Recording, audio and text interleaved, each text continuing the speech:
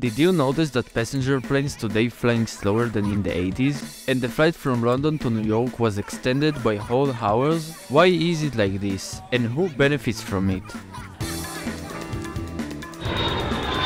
Hello, this is the captain. Every airliner these days is slower than all the airliners of the 70s and the 80s. The flights were also extended because of security arrangements that were not there before and the large number of planes. But technically a 9078 Jumbo flies faster than a 2018 Jumbo. Strange, isn't it? But there are two good reasons for this. The first reason is the aircraft engine. Each type of jet engine has a speed at which is optimal in terms of performance and fuel consumption, and the turbofan engines, which exist in every jet airliner, are optimal at the speed of around 830 miles per hour.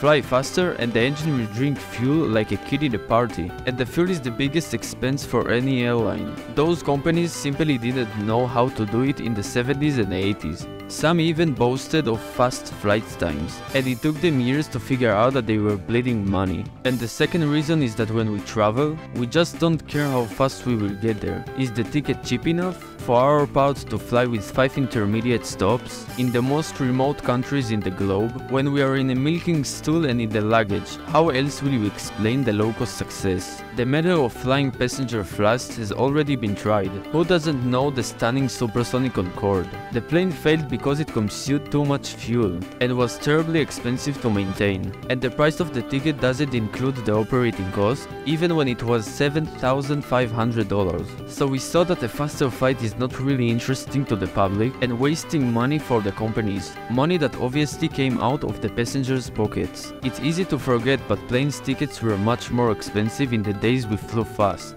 So let's keep flying slower but also cheaper.